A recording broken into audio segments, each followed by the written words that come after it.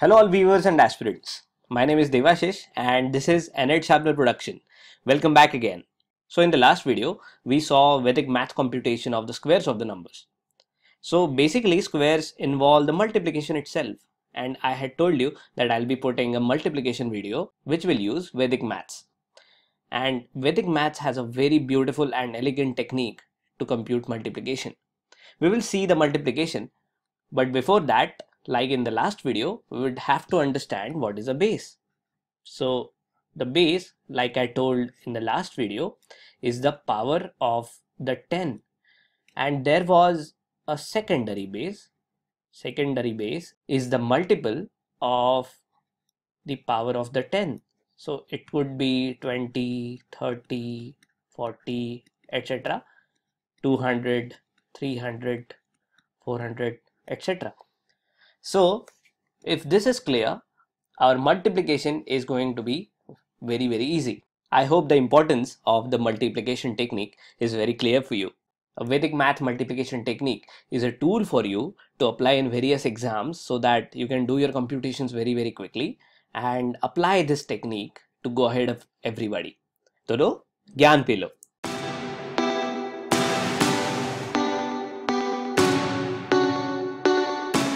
So like I said, we need to first choose a base when we see the numbers first. So again, let us write down some bases that we can use. The base of 10, base of 100, base of 1000, etc. We might have to choose a secondary base which is a multiple of the power of 10 and I have already described it.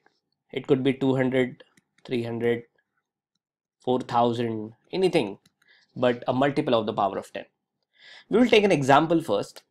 Let us choose let us say 94 times 91 now look at these numbers. I've chosen these numbers to be near to one of the primary base the power of 10 and that is a hundred. So always remember when you look at the numbers, you have to choose a base first. Now we have chosen a base of 100. Now what we have to do is write down the first number and look at how much less is the 94 by 100. It is 6 less than 100. So write down minus 6 here. Minus is because we need to show that 94 is less than 100. Again write down 91 and again do the same thing write minus 9 alongside that. Now there are two parts of our answer. There will be right hand part and the left hand part. The first thing is to compute the right hand part. So we have to do the multiplication of the right hand part. So minus 6 times minus 9 gives you 54 now we have to come to the left hand side how can we obtain the left hand side? It's very easy. Just combine the numbers diagonally. So you see 94 and minus 9, 91 and minus 6. If you combine 94 and minus 6, that gives you 85. Similarly, if you combine 91 and minus 6, that gives you 85. So that is basically your multiplication. It is 8500 plus 54 so basically we are adding the 8500 into 54 so the right hand side part is getting added in 8500 let us do one more example but in this case we'll choose the numbers which are above 100 I'm right now choosing number just nearer to base so that you understand the technique first. Let us choose 103 times 108 how can we do this? Now both of these numbers are closer to the base 100 again. And because of that we can write 103 and plus 3 108 plus 8 we can follow the same technique. We need to find out the right hand side first which gives you 24 and then we have to combine the numbers on the diagonal you can choose any one pair so that gives you 111 like I said it is basically 111 two zeros after that and adding 24 to it. That actually gives you the final answer. But the question is, why are we putting two zeros after 111 like this? It is because we have two zeros in our primary base. So if our base was 1000, we would have kept three zeros for the right hand side part. Alright. So I think this is clear. Now we can choose a number closer to another base. I'll quickly tell you. Let us see if how can we do the multiplication of 998 times 985. Let's do this. Now the numbers are clearly closer to 1000. So we need to choose the base 1000 and from this base 1000 we can write the pairs of the numbers 998 and minus 2 because 998 is 2 less than 1000 and the negative sign shows that 998 is less than 1000 985 gives minus 15 and now we need to put the right hand side. So that gives you 30 and then you have one pair in the diagonal to be combined which gives you 983 now because we have three zeros in the base the right hand side would have three places to be written off. So we can write 983030 which is the answer to our multiplication. Now I think this is clear. We can do the same thing with three digit number and a four digit number. Let's say 997 times 1004 now how can we do this? Clearly the base here is 1000 again but the difference is have opposite directions. So when you write 997 you get minus 3 and when you write 1004 you get plus 4 now the multiplication of minus 3 and plus 4 is going to be negative and now I want you to focus here. When the multiplication is negative, remember you need to do the multiplication as usual which is minus 12 and write down the combination of any two diagonal numbers. So 997 plus 4 gives you 1001 and 1004 combined with minus 3 gives you 1001 as well. But now you have to remember that there are three zeros to be put after 1001 and then you have to take away 12 from that and that gives you this answer. Am i correct? I think we are.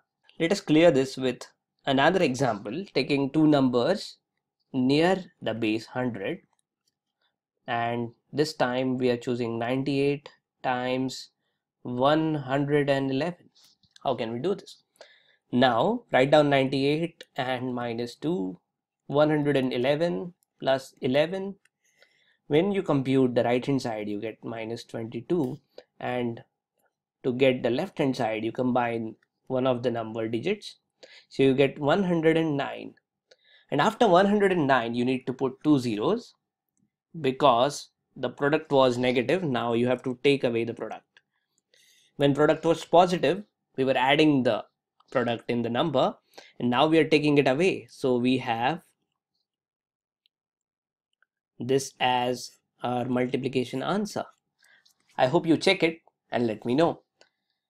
Can we do one more example? Yes of course let's do one more quick example. This time I'll not be explaining a lot. I want you to do that with me. So let us write this down. 97 minus 3 107 plus 7 and then minus 21 then 104 so 104 minus 21 which gives you 10,379 now let us talk about the numbers which are closer to some another base but not the power of 10 let's talk about 198 times 195 how can we do this? Now the base that we are going to choose is 200 we can choose the 200 as base. Now we'll do the same thing. 198 is 2 less than 200 195 is 5 less than 200 now combining any pair we get 193 0 0 on the left hand side. And on the right hand side we get the 10 we'll add this time because the product product is positive. So this is our answer you would say. But this is wrong. Why? Because when we got 193 you need to multiply that with the 2 because the base that we have chosen is 2 times the primary base of 100 so you can't do the same thing anymore. You need to multiply the answer on the left hand side with 2 first. So that gives you 6 8 and 3 here. So 3 8 is 6 and then you have to put two zeros and then you have to add the 10 I hope you understand. 38,610 so that is the answer for the given multiplication let's choose another example. We'll do one more example. Let's choose this time 485 multiplied by 503 so this time our base is going to be 500 so carefully you need to write 485 and minus 15 here 503 and plus 3 here.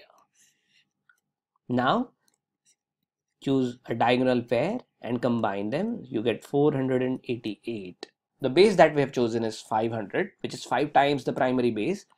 So we will times the given left hand side by 5 now so which gives you 2440 and now you have to put two zeros after that and add the given right hand side product so which is minus 45 so we have to take away 45 from the given number now so that gives me 2,43,955. So this is my answer for the given product. Let's choose another example and this time I won't explain. So 393 and 409. So the base is going to be 400 and 393 can be written as like this and 409 can be written like this. And then we'll combine one of the pairs to give 402 and then I'll multiply that with 4 to give 1608 and then I'll put two zeros after that because the base I've chosen have two zeros after that. Then I'll take away 63 from that to get 1,60,737 so this is my answer for this given question. I hope you have understood. Now the last bit is remaining wherein we have different bases. Can we do the multiplication with different bases? The straight answer is no. We have to choose the same base for the two different numbers. So, but what if we have two different numbers like 198 and say 579? Can we do this question? We can do this question, but for that we'll have to multiply 198 by 3. I'm choosing 3 so that 198 times 3 gets closer to 579. So that that becomes 594 and then the another number is 579 and then I can choose a common base of 600 once I have chosen the common base of 600 I'll do the same thing. 594 and I'll write down minus 6 here. Then I'll write down 579 and minus 21 here. Then we can combine one of the pairs to give 573 and this time the base being 600 we'll have to times it by 6 so that gives me 3438 and then I'll have to put two zeros after that and write down the multiplication on the right hand side which is a positive multiplication and that is 126 I'll have to add these together. Now this is the multiplication of 594 and 579 but we wanted multiplication of 198 and 579 In fact, we reached at 594 by multiplying it with 3. So we can divide the given number by 3 to get the multiplication of 198 and 579. So that is 1,14,642.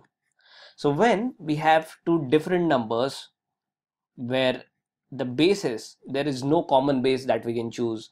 Ultimately, you should multiply one of the numbers or divide one of the number to come to get comparable numbers so that you can choose the basis nearby the numbers and then you can complete the Vedic math multiplication and then go back by dividing or multiplying by the same number to get the original answer.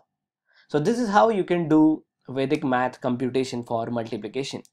I hope the methods that I have told you are clear. I want you to subscribe to the channel if you are loving the content on this channel because we will put more Vedic math videos, more general aptitude videos and more engineering topic videos so that you get help for different examinations. You please like this video i would really love that because if you like the video the engagement on this video increases and it helps me a lot please share this video among your friends so that everybody gets to know this beautiful technique of Vedic mathematics.